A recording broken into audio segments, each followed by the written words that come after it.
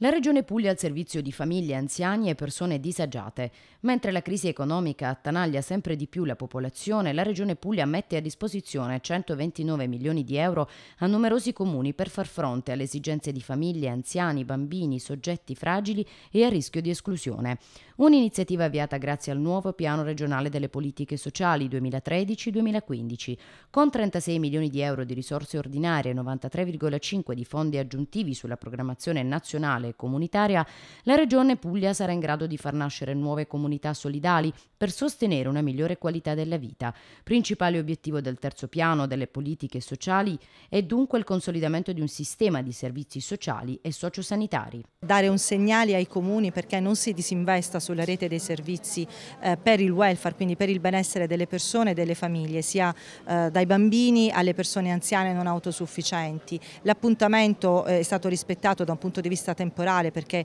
scadeva quest'anno il terzo triennio di programmazione sociale, il secondo triennio chiedo scusa, per avviare il terzo triennio. Stiamo assicurando la continuità della programmazione agli ambiti territoriali. Oggi presentiamo ufficialmente il piano regionale delle politiche sociali, l'obiettivo è quello di avere entro fine anno i 45 piani sociali di zona e soprattutto i progetti per utilizzare appieno le risorse del piano di azione e coesione messi a disposizione dall'ex ministro Barca Barca, quindi dal Dipartimento Coesione Territoriale, in particolare per i bambini e per gli anziani. È importante perché in questo caso solo gli ambiti territoriali che entro dicembre riescono a concludere le progettazioni non perderanno le risorse e abbiamo fatto un punto d'onore per la Regione Puglia, quello di non perdere neppure un euro delle risorse per queste politiche. Tra le novità della nuova programmazione regionale spicca l'introduzione di precisi obiettivi di servizio nell'area del contrasto alla povertà, con l'attivazione in ambito territoriale di un punto di pronto intervento sociale